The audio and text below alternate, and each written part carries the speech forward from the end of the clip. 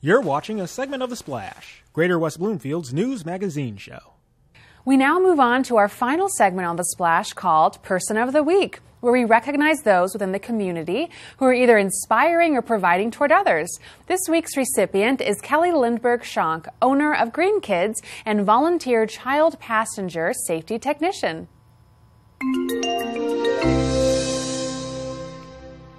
Kelly Lindberg Shonk has made keeping kids safe and well clothed her passion and mission in life.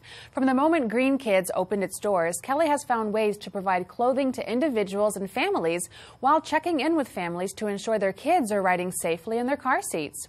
Her passion for keeping kids safe led her to become one of the only certified child passenger safety technicians in our area. Being a safety technician is a volunteer position, and Kelly regularly offers free car seat checks for new, used, old, or modern car seats, both outside her boutique as well as at local fire stations. Whether you need clothing or shoes for a child in your life or are concerned about the safety of the car seat being used, Green Kids resale boutique owner Kelly Lindberg Shonk is ready to help with a smile and expertise, and that is why she is our person of the week. If you know someone who is providing a service to their community, then let us know by sending an email to the splash at civiccentertv.com. We want to congratulate those who are making a difference in our area, and we appreciate all of your suggestions.